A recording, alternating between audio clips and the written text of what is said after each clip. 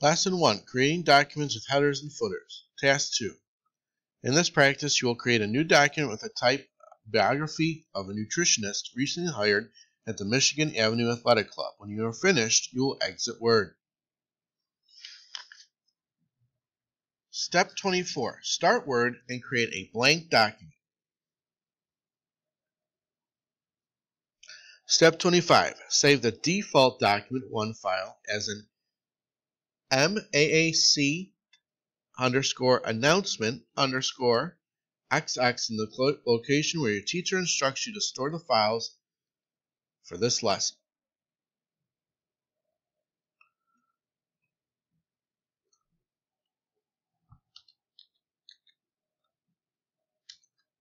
Remember to replace the XX with your initials or full name as instructed by your teacher.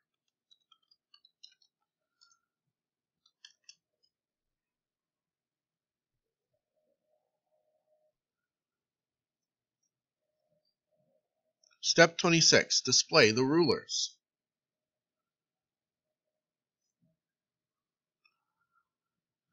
Step 27. Display the non-printing characters.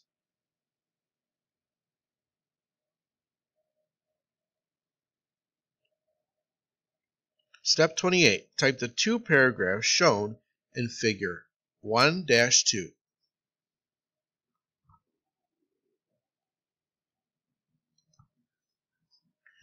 Step 29. Type your name in the header area.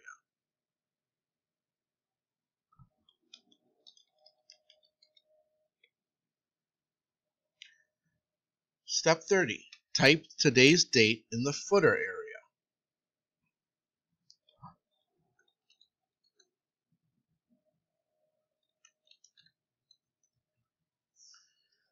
Step 31. Save the changes to the document.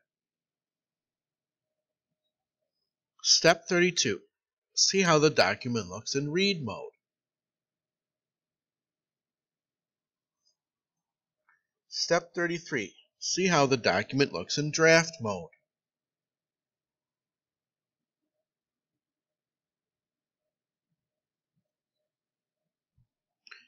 Step 34. Change back to print layout view. Step 35. Hide the rulers. Step 36. Hide non-printing characters. Step 37. Close the document, saving your changes, and exit Word.